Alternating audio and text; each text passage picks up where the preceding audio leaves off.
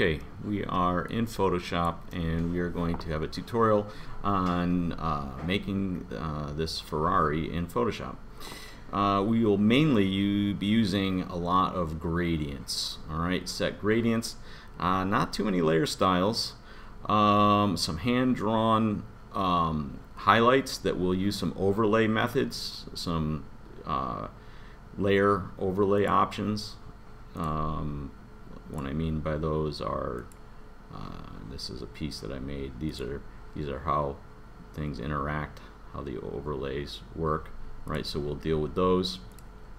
Um, tires, I haven't quite figured out exactly how I'm going to deal with those. And then the tricky stuff, but it's kind of fun, we'll be learning about how to make these halftone patterns. Um, and those are going to come at the end of the video.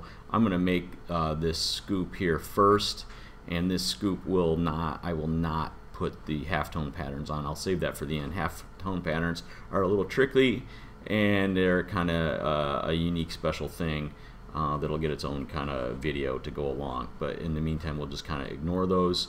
Uh, and we're just going to break this down into parts and, um, and go from there. The quality of this image is decent, but not great, right? We can see some of the pixels and stuff, and we're going to actually make kind of a nice clean uh, painting of this Ferrari. I don't know much about cars and car parts and things, so if you're a car person, don't get upset if I don't know what this stuff is. Or like I call this a scoop, some sort of air scoop. How, what it's really doing, I honestly don't actually know. Um, and uh, so here we go, and I need to make a selection first, and I need a layer. I've already kind of made one. I'm gonna make another one. I'm gonna put a layer on top here. Uh, we're going to pretend these don't exist for now. And we'll just click here as we go. And while I'm doing this, I'll talk to you about some things here. Uh, I will be making this video, uh, a series of videos, and I think that when once we have the first couple videos, or maybe just this video set, and we know what we're doing for the process, then from there I will just um, you might be wondering why I didn't cut them all the way to here because this is kind of its own actual round gradient shape. Uh, it's kind of those little flare on the fender um, and I'm gonna make that separate. I'm not bringing this piece in that's gonna be a separate piece too. I'm just really really thinking about this side panel that turns into this scoop um, but yeah, so some of the videos will probably be done at double or triple speed as I when I just am like playing and doing stuff once we actually know the methodology. All right. So then we're just going to go to our gradient tool, right? And um, I'm just gonna. This is our red and white because that's what's selected. And then I'm gonna click on this gradient, and then I need to build my own brand new gradient, right? So I'm gonna come down here, and actually I'll start up here alright and then click in here somewhere and grab this color. Click over here and grab kind of down here at this point. and then down here and pick down like there. And then I guess um, this very last one right kind of right at right at the edge. Okay and this looks like it should be compressed more down here. This is a little bit wider and that's pretty much tight at the top. And then give this a gradient. Pretty much a drag like that okay? Then I kind of turn it on and off and just see what's happening and do I like how it's working. To me it looks like it should be a little bit angled. Mm, just very subtle. Too much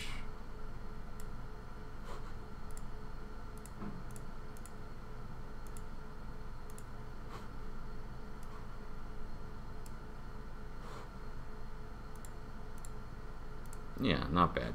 I'm not, this black area is going to be done differently, so I think that's acceptable. All right, so now let's do the black gradient. Um, we have this actual hole. I believe it's a like the the hole that's going in, and that's deep and dark. I'm not gonna. I'm gonna. That's gonna be its own separate piece. I'm just looking at the way this black area kind of comes out into here, not the speckled dotted pattern. That'll come later. Just the overall uh, you know, radial of this dark. Okay, so that I'm going to do. I'm going to set this to black and white. Come here and I have this option of black to transparent. Alright, so if I do a black to transparent, it overlays on top. Um, let's just turn off the, uh, let's just put this white on here so you can see what's happening. I'm going to start the gradient in here because that's where the center of this circle is. Okay, and then I'm just going to kind of go something, oops, I want a radial gradient. Something like this maybe. That's too small. Uh, that's not bad.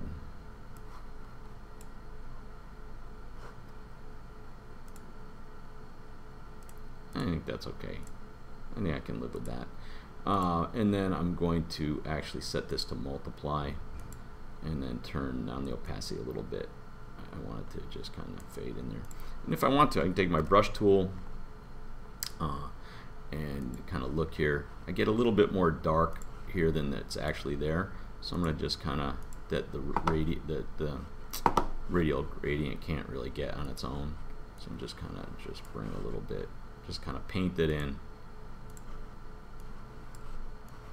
Something like that. Alright, so that's that. Alright, now deselect and we're going to make this circle shape here. Make a little, it's an oval. Something like that. It comes past here, it gets cut off. Um, this is just going to be an alt delete and then command if you command click it will load that selection right so let's just put this here, see what I'm doing. So if I command click on a layer, right, it selects whatever's on that layer, but I want to work on this black dot layer, and I want the inverse. I want to erase that. Command Shift I, eraser, and just, mm, got no flow. Got no flow. There. Okay, so that's that. So I'm stacking these on top of each other. I'm going to probably give this a little bit of a blur, filter, Gaussian blur, oops, wrong there. Filter, Gaussian blur. Just look at that edge. Yeah, something like that. That's looking good. Um, so I need uh, this highlight. It's pretty much just like almost like a solid pink color. It's got a little bit of those dots on it. That'll come later. Okay, I'm really just looking at this shape right here. Gonna make a little another little layer layer. We want layers um, this could actually be kind of an oval, right? Kind of an oval, and then select transform selection, transform the selection. I can turn it, and I can squish it. I can hold my command key down, stretch one end out, so I don't like that. Squish this side in like that.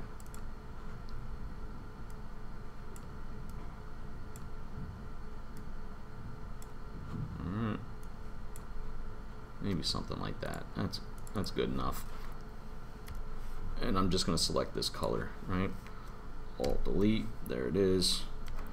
Okay, um, and that's that's that. I'll probably give that just a little bit of a blur as well. Filter Gaussian blur, soften the edge, and then what I need is this red shape here, which is basically kind of another faded out um, uh, rate radial gradient. Um, use my use this nice get a nice strong red here okay and I'm just going to take that select and transform my selection again so that I can turn this oval and then what I want is my gradient and red to transparency Need a new layer. And it's a radial gradient, not way too small, right? So I need it out here, something like that. That seems too strong. Let's see. Let's see if we can edit this. Yeah. I need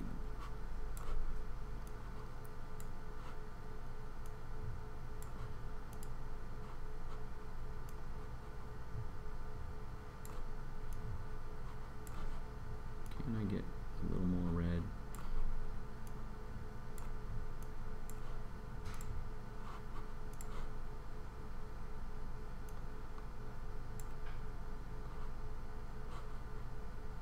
Okay. Yeah. We're getting there. Mm, Alright, let's just go with that for now. And uh, this is going to be, I think I like to set this at a hard light and it's interacting more.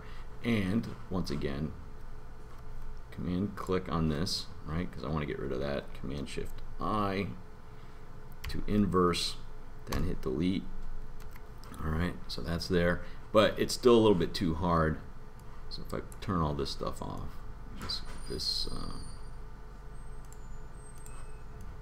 this goes on top here like that, and then this um, I can just either use the eraser or if I really want to have non-destructive properties I can use uh, I could put a layer mask on there. I'm just going to use the eraser. And with a soft brush flow way down and just kind of soften this out right? This is way it's way too much stuff here it's too hard an edge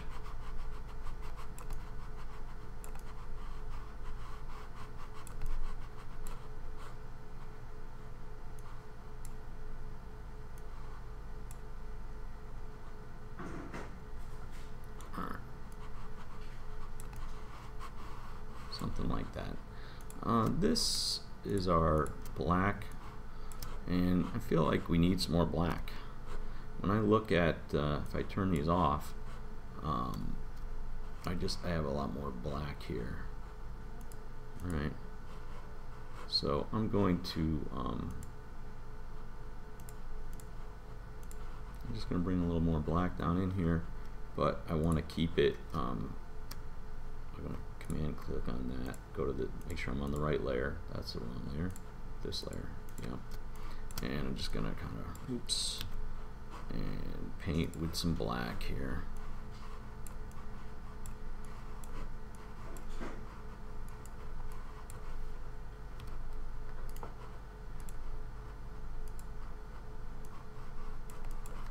something like that Alright, that's pretty good for a scoop for now. And I'm going to take all these layers. We, If you don't know how to do this, I'm going to turn these into a group.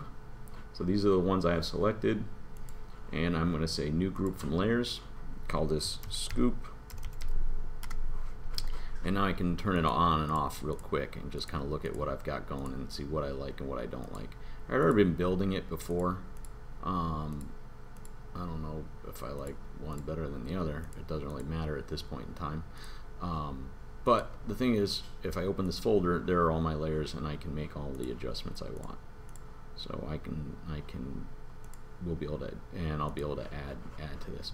All right, so now we need this shape here, this whole big, um, uh, what is this part of the? It's kind of like the side that scoops into like the back fender area. So this, I'm just going to. Um, basically come here and make a selection.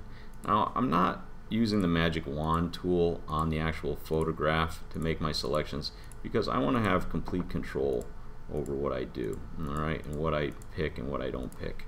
Whereas the magic wand tool um, you know just picks by color and you're not gonna get exactly what you want. Or I mean you might you might get lucky and get everything you want. Um, I'm doing this really fast. I've actually kind of already done a cleaner version of this but for what we're doing here um, it gets a little bit hard to read what's happening in this image but I believe this is kind of coming up here like this. The back end is going to kind of get repainted another way. The gradient is going to be good for the back end of this fender. You'd want to make smaller clicks so that you could make sure that you get a um, it's this fender is going to be I'm going to use it um, this layer is going to be actually behind the scoop so I can come right through the scoop here like this. Alright um, and then uh, make a layer and then I need a gradient. Now I've already been playing with the gradient tool and I think I have a pretty successful gradient here picked but just so we know I went here and I clicked here then I clicked here then I clicked here right? Here I will actually just let's let's do it again. Alright so here's my here's my gradient editor. Just so you see I'm to come down here and pick like a color that's over here then click again pick like a color that's here pick like a color in here pick one in there. Oh, oh it doesn't. There we go. Pick one in here and then this final one really it's just kind of like really really intense nice red all the way to the top. So something like that and then this is not a radial this is a linear and we're just shooting it through something like that. And just kind of turn it on and off. I turn it on and off to see like where where it's going and and it seems like it's too strong here. So what I'm gonna do is edit this gradient and bring this down. Bring this down. And now push it through. Yeah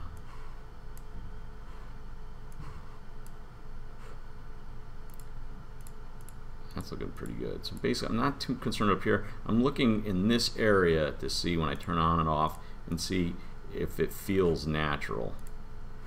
This needs to come down a little bit more. So let's edit that gradient and let's just bring this like this and this like this.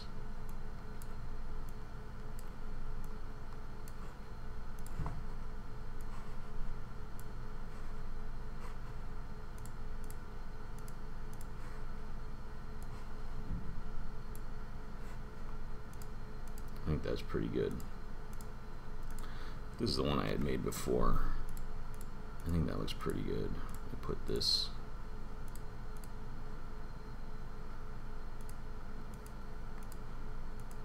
and there's my scoop. Yeah, that kind of is flowing pretty nicely.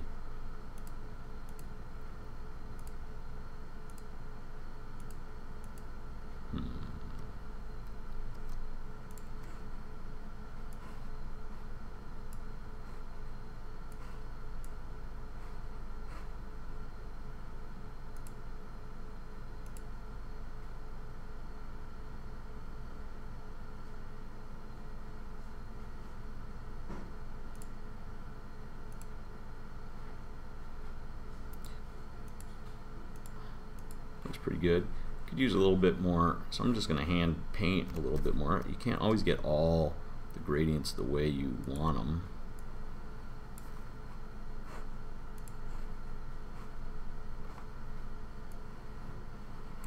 Just kind of hand paint that in a little bit. Because this should flow. This, this should be a soft flow right from one to the other.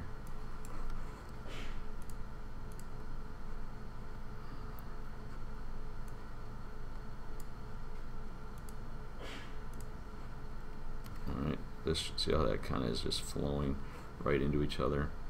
So these should flow into each other.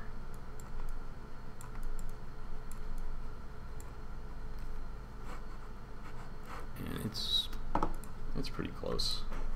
Um, so then yeah like just kind of zooming out turning this off and say is this starting to look like a car it's going to be pretty early on. Uh, I'm going to go in and do some, um, I'm going to go paint some highlights in here on top of here. And uh, uh, yeah, like I said, I'm going to just do a couple other gradients across this and get some basics laid out uh, with no audio. And then we'll go from there. Okay. Let's see. Let's stop